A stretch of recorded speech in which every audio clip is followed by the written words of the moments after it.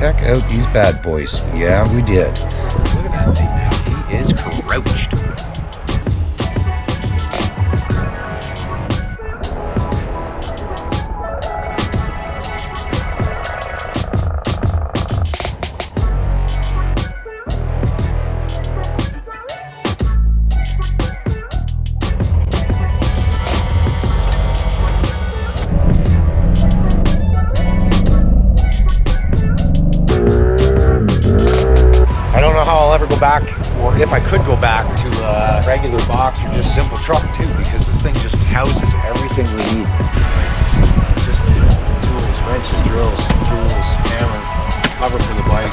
That. I got uh, under here is yeah, air compressor as well, boys, uh, with an outlet here, right? Just crazy. Yeah, but side loaded up to to the gills.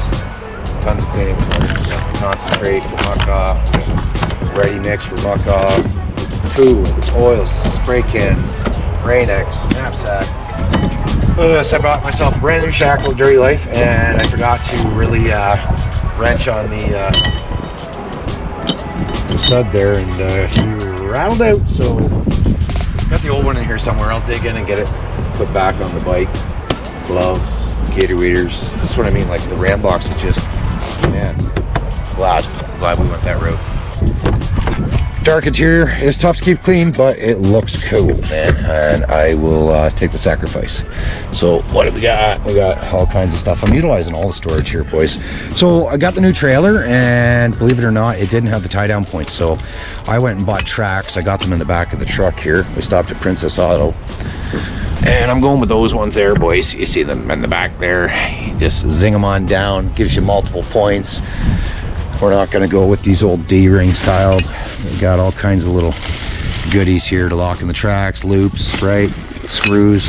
I'll get to that as soon as we get back to the trailer. Up goes the seats. Simple as that. Always carry a spare belt, boys, of the old Can-Ams. Oh, maybe we should touch base on what these are. Check out these bad boys. Yeah, we did. So uh, Bay Marine hooked us up with more add-ons for the uh, the Mav, and these are a necessity. Been sitting there, I just keep forgetting to grab them, and uh, Dan reminded me the other day when I was there. He's like, "Hey man, you know those uh, rock sliders are down there, those Lone Star." So uh, they look killer, man. I can't wait to get them bolted up to the X3. Uh, yeah, back to our storage. What we got? belt for the Can-Am. We got ourselves a spare winch uh, cable, which is always good to have, synthetic, right? Spare battery, uh, tools, lots of tools. Can't have enough tools when you're out ripping on the trails. The old helmet there. Um, right now, I don't have anything in the under compartments. Uh, on the long weekend there, I was utilizing them for food. Yeah. got me. I got ice in there. We got fruits and all that jazz. Cheese and uh, I think we got banana bread, boys. snacks, drinks, awesome. So uh, very handy to have those as well. And they just pulled out and I dumped the water back in, they're good to go. So love it, freaking love it, boys. Dream to drive, that is for sure. Oh yeah, get a load of old Dorothy there. For sure we did. We got my brother, the White Stormtrooper, but uh, I got I got my GoPro gig and stuff down in here. We've got mounts, uh, safety glasses, my Ram bug, of course.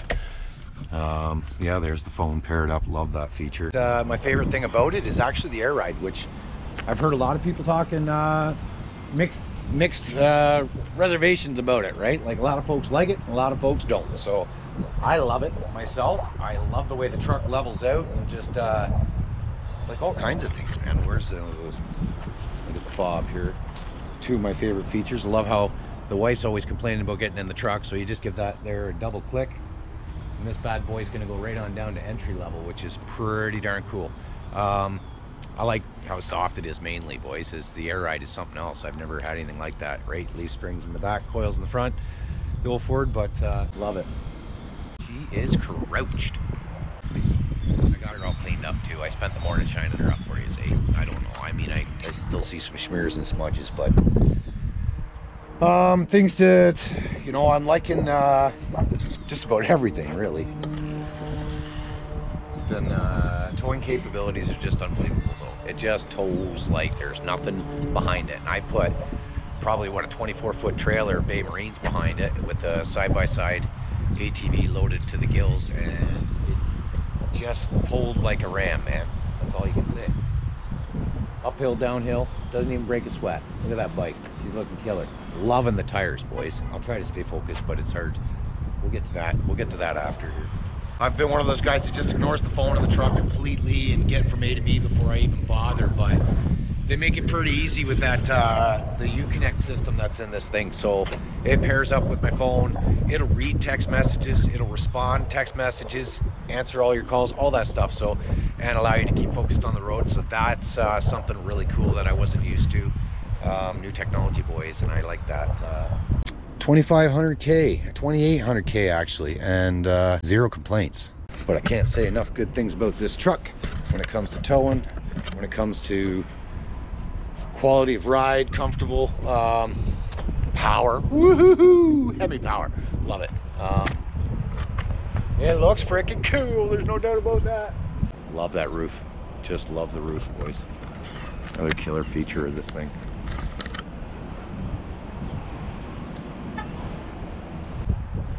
Yeah, I love the wrap, man. Digging it. tires rims. Uh we might change those just for something to do spice it up i mean i love these they're awesome coolest stock rims i've ever seen on a truck But uh, why not go aftermarket, right? So we might change something up there. You guys let us know what you think. Should we get a set of fuel rims, wheels on there, or something like that? the dirt tracks work good i haven't really had them in too much greasy I haven't really taken the truck into anything rough yet i'd like to get the fluids dropped i got a couple really cool ideas um, for some videos to incorporate it. I think it would be kind of neat. I'd like to see how well it will do. Um, so we might just do that once we get the uh, brake-in fluids dropped. Pretty much covers everything about the truck i think. Um, 2500 kilometer 2800 kilometer review and very happy with it. Would i buy another? Yes absolutely. Am i loving this truck? Yes absolutely. Um, so far there hasn't been any issues really. Ride's super smooth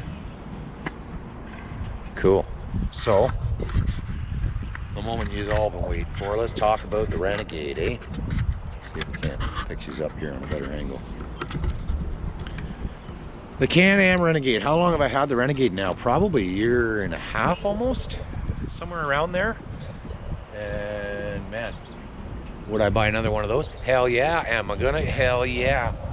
Is it a pain in the ass? Hell yeah. Is it high maintenance? Hell yeah. Is it worth it? Hell yeah. That's all I gotta say about that. No, but seriously. Um, 18, love it, love it. Um, it's had a few issues. What have we gone through on this thing? Well, yeah, we took out a power steering unit pretty early, I'd like to think.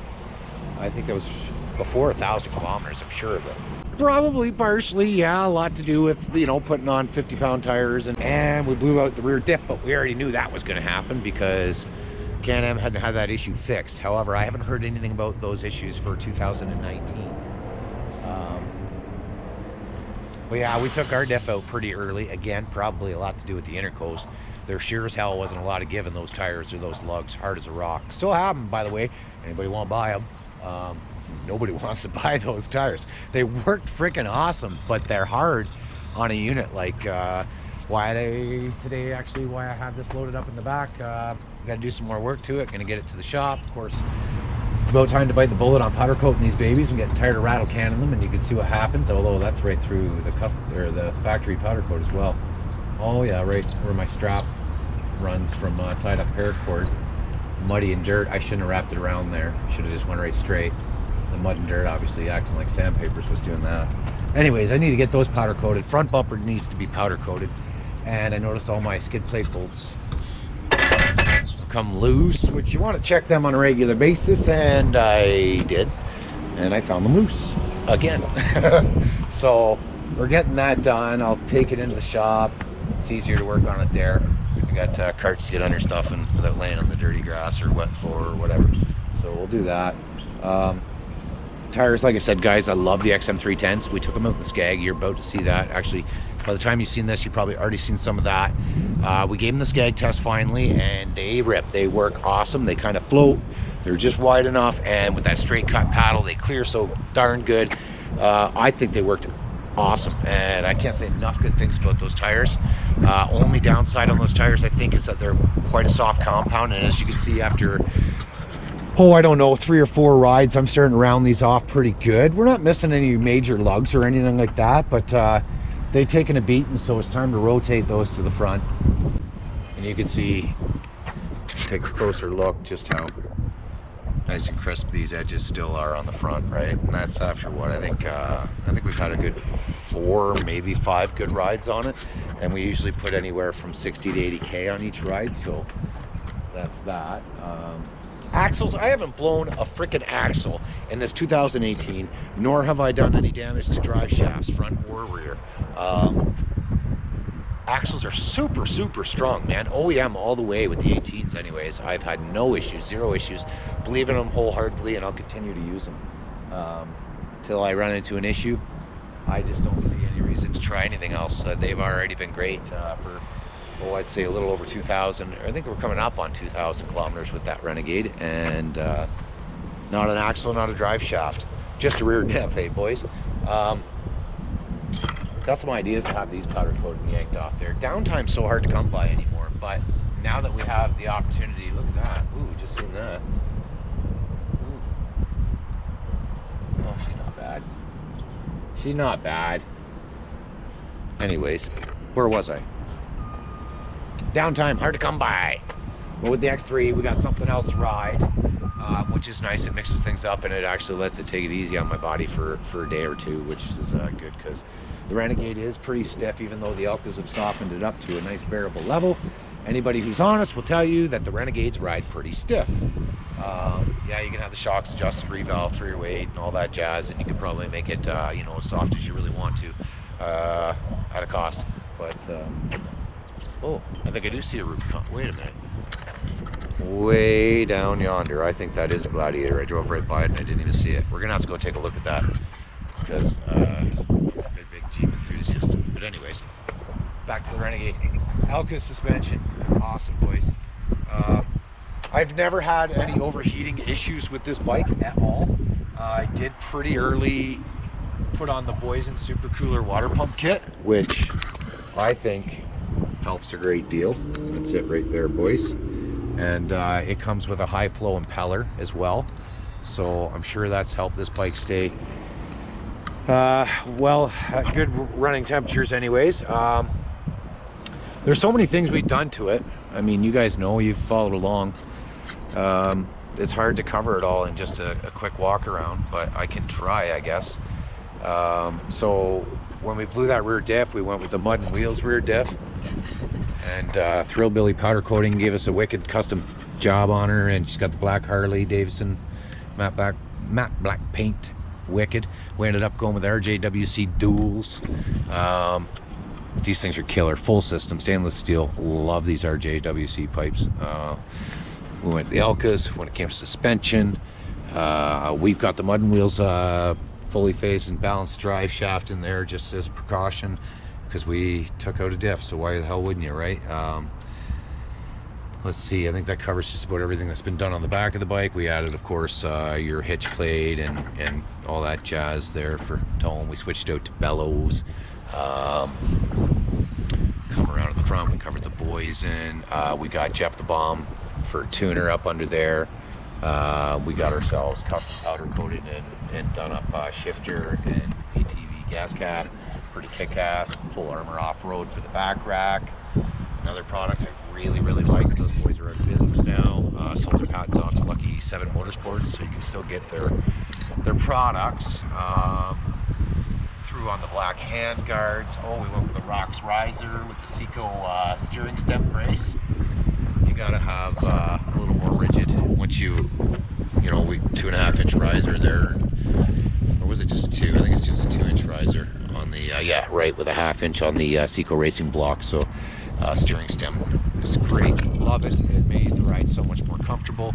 Um, my buddy from uh, Quinte Marine and Upholstery, Grant. He did my uh, bumper pad up there. Let me get up there with you because I think I stick the camera up there. All you can hear is wind.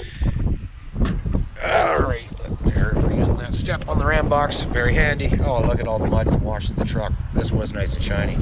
Now I got work to do again. But yeah, bumper pad for me. He also did uh, customize the seat, got rid of the white Can-Am on the side, red stitching, which you can see some of the top stitching came out. He noticed that before I did and said, hey, you should bring that seat back to me. I said, hey, I ain't really worried about it. Um, she's holding together great. When it's an issue, then I'll, I'll, uh, I'll deal with it. But uh, yeah, maybe we'll let Grant uh, go over the seat again and uh, I don't know, maybe uh, some ideas there from you boys too. We could uh, jazz it up a little bit, I guess. Uh, tied up paracord surprised me with this product the other day. Check this out, boys. Keychain tether. This is really neat.